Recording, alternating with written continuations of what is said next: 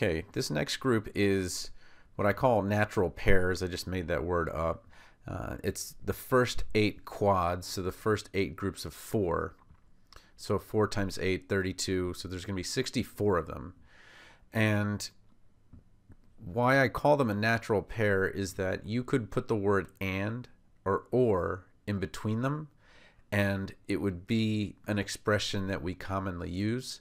And most of the quads are actually an expression that you could use in four, or they are in some way related. So we'll get to that as I get to each of the slides. But you'll notice that they just go together. Okay, so give, take, to, from. Him, her, he, she. One, two, first, last. In, out, up, down. Come, go, now, then. No, yes, on, off. More, less, long, short. Before, after, old, new. So let's see the deeper relationships we have in each of these quads if you give something, you give to someone. If you take something, it comes from someone. So give and take to and from. A him is a he, as a her is a she. Him, her, he, she. One is in relationship to two. If you have two people in a race, number one would be first, number two would be last. So one, two, first, last.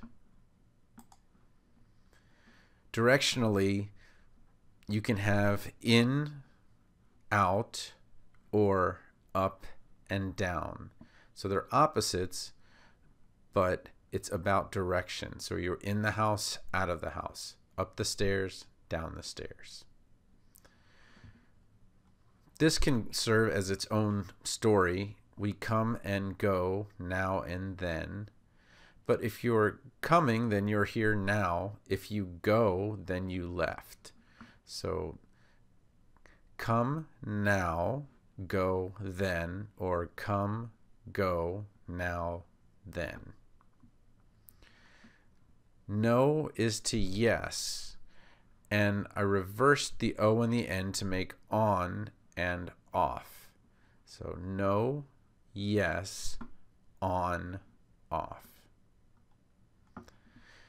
If something is more, it would be longer. If something is less, it would be shorter. So more is to less as long is to short. So more, less, long, short.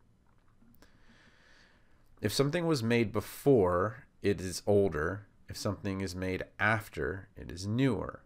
So before, after, old, new.